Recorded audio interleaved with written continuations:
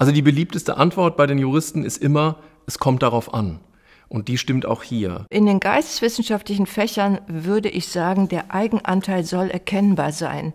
Weil was erkennbar sein soll, ist die selbstständige Auseinandersetzung mit dem Material. Aus der Naturwissenschaft ist es eigentlich so, dass man ja was komplett Neues herleitet, entwickelt, am Computer ausrechnet und andere Leute zu zitieren, das macht man schon auch, vorwiegend in der Einleitung, um halt die Hintergründe darzustellen, was schon gemacht wurde, ähm, oder vielleicht auch Gleichungen oder Formeln, die man verwendet, ähm, aber jetzt nicht in dem Sinn, dass man schreibt nach Professor so und so oder was, das würde ja eine gewisse Meinung schon wieder andeuten, sondern einfach um dem Leser halt das Finden der Herleitung oder weitere Details zu vereinfachen. Weiter ist es so, dass vor, bis vor einige Jahre viele Zeitschriften eigentlich eine passive äh, Formulierung vorgesehen haben.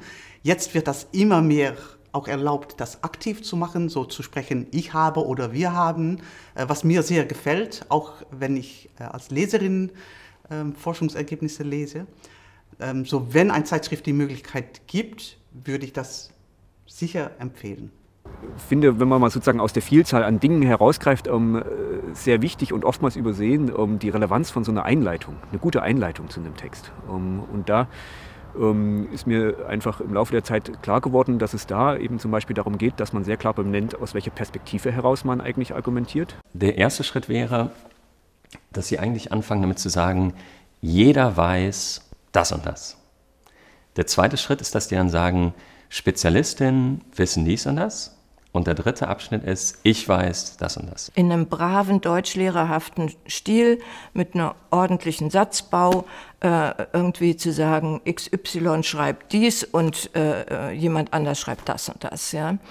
Ähm, das ist eigentlich langweilig, weil es ja nur der Anfang des Gedankens ist. Interessant wird es ja dann, ja, was, was, was habe ich jetzt hier, wenn ich hier zwei widersprüchliche Gedanken habe? Wieso denkt der eine so und der andere so? Welchen Hintergrund historisch und äh, theoriegeschichtlich hat das? Ja, und dann muss man ein bisschen freier werden. Ja, aber um das, um freier zu werden, muss man auch sehr viel wissen.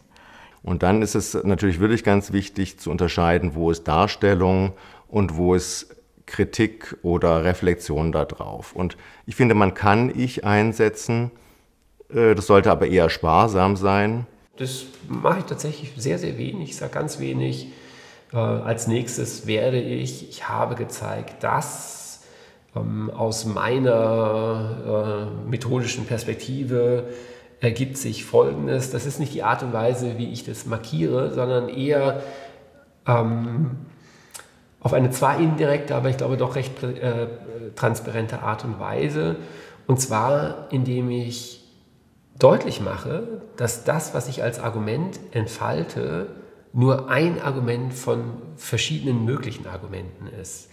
Das kann man gut machen, indem man zum Beispiel das eigene Argument in Forschungskontroversen einbettet, es dort positioniert. Und zwar dann, in dem Fall vor allem, wenn man kontroverse Positionen vorfindet, ja, oder widersprüchliche Einschätzungen.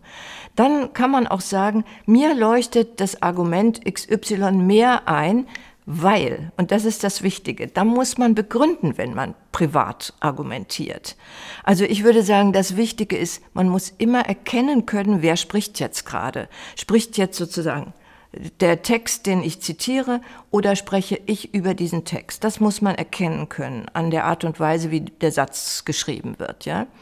Aber beides ist meiner Ansicht nach sinnvoll und muss aber natürlich irgendwas miteinander zu tun haben. Ganz, ganz äh, bescheuert ist, wenn die Leute schreiben hier, also was weiß ich, Adorno sagt das und der sagt das und meine Meinung Doppelpunkt und dann oder eigene Meinung und dann kommt ich finde aber, das ist alles ganz anders. Das ist nicht der Sinn der Sache, ja. Aber dass man zwischendrin markiert, ähm, wenn das so ist, dann würde ich die und die Konsequenz ziehen.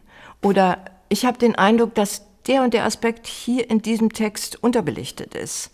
Das ist, halte ich für völlig legitim, solange klar ist, das ist jetzt eine individuelle Äußerung in Auseinandersetzung mit dem Text. Ja?